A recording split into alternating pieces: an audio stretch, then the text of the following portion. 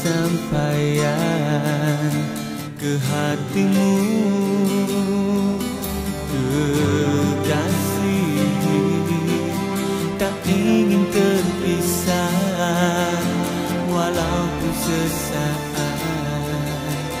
Dari hidup